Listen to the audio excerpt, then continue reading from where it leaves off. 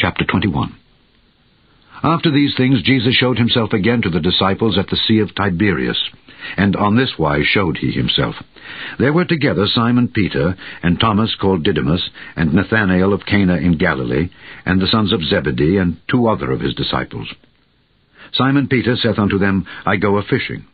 They say unto him, We also go with thee. They went forth, and entered into a ship immediately. And that night they caught nothing. But when the morning was now come, Jesus stood on the shore, but the disciples knew not that it was Jesus. Then Jesus saith unto them, Children, have ye any meat? They answered him, No. And he said unto them, Cast the net on the right side of the ship, and ye shall find. They cast therefore, and now they were not able to draw it for the multitude of fishes. Therefore that disciple whom Jesus loved saith unto Peter, It is the Lord. Now when Simon Peter heard that it was the Lord, he girt his fisher's coat unto him, for he was naked, and did cast himself into the sea. And the other disciples came in a little ship, for they were not far from land, but as it were two hundred cubits, dragging the net with fishes.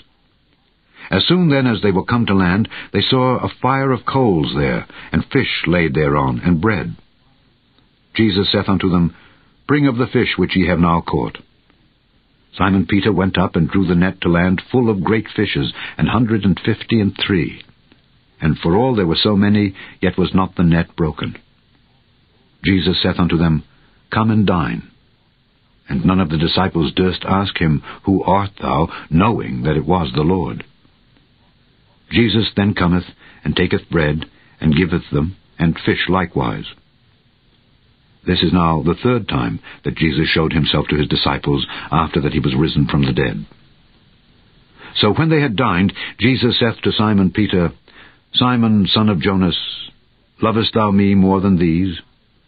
He saith unto him, Yea, Lord, thou knowest that I love thee. He saith unto him, Feed my lambs. He saith to him again the second time, Simon, son of Jonas, lovest thou me? He saith unto him, Yea, Lord, thou knowest that I love thee. He saith unto him, Feed my sheep. He saith unto him the third time, Simon, son of Jonas, lovest thou me?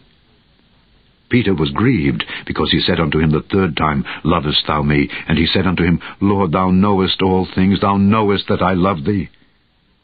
Jesus saith unto him, Feed my sheep. Verily, verily, I say unto thee, when thou wast young, thou girdest thyself, and walkest whither thou wouldest. But when thou shalt be old, thou shalt stretch forth thy hands, and another shall gird thee, and carry thee whither thou wouldest not. This spake he, signifying by what death he should glorify God. And when he had spoken this, he saith unto him, Follow me. Then Peter, turning about, seeth the disciple whom Jesus loved following, which also leaned on his breast at supper, and said, Lord, which is he that betrayeth thee? Peter, seeing him, saith to Jesus, Lord, and what shall this man do?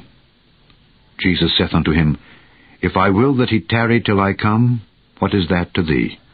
Follow thou me. Then went this saying abroad among the brethren, that that disciple should not die. Yet Jesus said not unto him, He shall not die, but, If I will that he tarry till I come, what is that to thee?